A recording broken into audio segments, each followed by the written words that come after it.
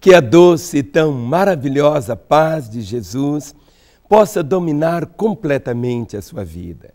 Ah, que privilégio Ele nos dá de estarmos juntos para um momento de alento, de refrigério, mas acima de tudo, um tempo para podermos ouvir a bendita palavra do Senhor.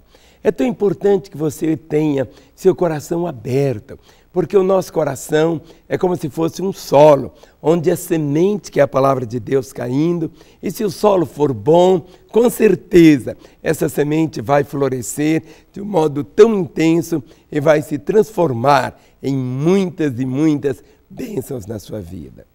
A maior certeza que nós temos na terra é a certeza que um dia nós vamos morrer. É tão interessante que nós não gostamos muito de ouvir esta palavra morte, não é assim? Porque ela nos fere, ela nos machuca, ela traz ao nosso coração, assim, muitas dores. Mas é importante você saber que para aqueles que têm Jesus, a morte não significa fim, destruição, aniquilamento. Pelo contrário, para aqueles que têm o Senhor, é apenas como que se fosse uma porta que se abre desse lado para o outro lado. Sabe, nós passamos aqui e somos aqui apenas peregrinos, forasteiros, nossa morada permanente não é aqui. Nós estamos aqui só de passagem. A Bíblia diz que a nossa passagem aqui é rápida, é como um conto ligeiro que de repente desaparece. Mas para aqueles que têm o Senhor, existe uma esperança, existe uma certeza. E é uma certeza que não vem simplesmente de um sentimento, mas a certeza que vem da palavra de Deus. Em João capítulo 11, o verso 25, Jesus fala exatamente assim. Um momento que ele diz: Eu sou a ressurreição e a vida, e quem crê em mim, ainda que esteja morto, viverá. São estas as palavras do Senhor. Jesus dizendo isto: Eu sou, eu sou a ressurreição, eu sou a vida, e quem crê em mim, ainda que morra, viverá. Jesus não veio simplesmente só para fundar uma religião, estabelecer uma igreja, mas muito, muito mais do que isso. Ele veio para encher o coração do homem de esperança. Ele veio para ir ao seu encontro. Ele veio para enxugar as suas lágrimas. Ele veio para te fortalecer. Ele veio para poder segurar as suas mãos quando você atravessa aquilo que a Bíblia diz que é o vale da sombra da morte.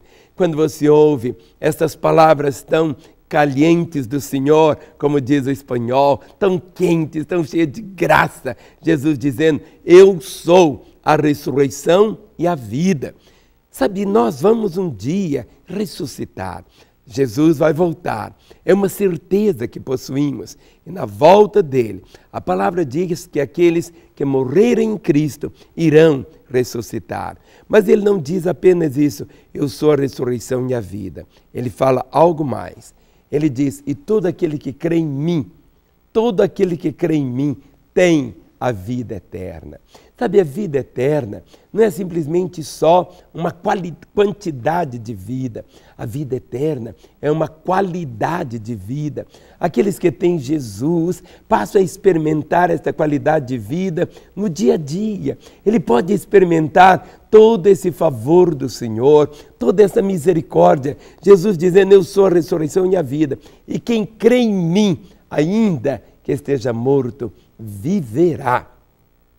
Você pode dizer assim, mas pastor, eu achava que o céu, a ressurreição, era para aquelas pessoas assim, que pela vida delas, pela integridade delas, pelo, ah, por atos de bondade que elas fizeram, pelas obras que elas realizaram, elas então adquiriram o dom da vida eterna. Não é assim. A salvação é um presente de Deus e ela vem pela graça. O que, é graça? Graça é aquilo que eu preciso, mas é aquilo que eu não mereço. Isso que é graça. Eu preciso da salvação, mas eu não mereço a salvação. Não existe absolutamente nada que nós venhamos fazer que Deus vai ficar nos devendo a salvação. Não é assim. A Bíblia diz: porque pela graça sois salvos por meio da fé. Isto não vem de vós, é um dom de Deus não vem das obras, para que ninguém se glorie. Se você não tem essa certeza, essa certeza tão gloriosa, que é a certeza da vida eterna, você precisa tomar uma posição. E que posição é essa? Você precisa se voltar para Jesus. Você precisa realmente se entregar a Ele. Há muitas pessoas que conhecem tantos fatos a respeito de Jesus, tantos conhecem a história de Jesus, mas nunca tiveram esse encontro verdadeiro com Ele a aventura mais gloriosa, mais fascinante que você pode experimentar aqui na terra é conhecer Jesus, é viver com Ele, é andar com Ele, é servi-lo. É isto que conta. O resto, sabe, é apenas o resto. Hoje é um dia de você avaliar muito a sua vida. Hoje é um tempo de você colocar o seu coração no coração do Senhor. Quem sabe você um dia até andou com ele, viveu com ele, mas se afastou.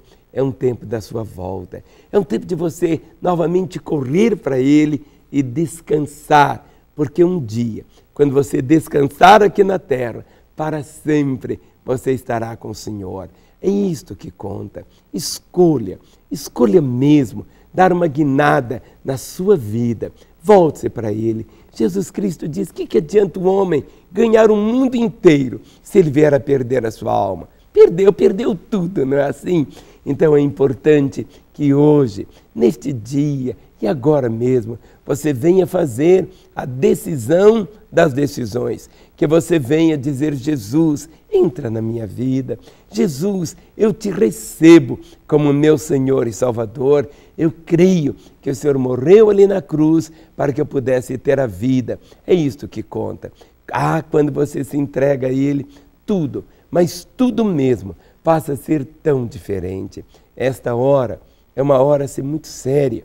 Esse é o momento que você não pode deixar de fazer algo. Ninguém pode fazer isso por você. É uma escolha. Tudo na vida é uma escolha. Até onde você vai passar a eternidade é uma escolha também. Mas ninguém pode escolher por você. Você é responsável pelas suas escolhas, mas você merece também aquilo que você tolera. Enquanto o seu coração pulsa, é o tempo de você acertar a sua vida. Enquanto você respira, é esse tempo de você tomar realmente esta decisão, a mais gloriosa, de se entregar a Jesus, de voltar-se para Ele. Realmente, é no momento quando você faz isso, tudo passa a ser tão diferente, tudo passa a ser tão real, tão glorioso. Este telefone, 3429 9550, é o nosso telefone, 3429 9550. Ligue para nós. Queremos orar com você queremos conversar com você e queremos abençoar a sua vida. E amanhã, se Deus quiser, nesse mesmo canal, nesse horário, eu quero voltar para continuar a profetizar vida para o seu coração. Até lá, no nome precioso de Jesus. Amém.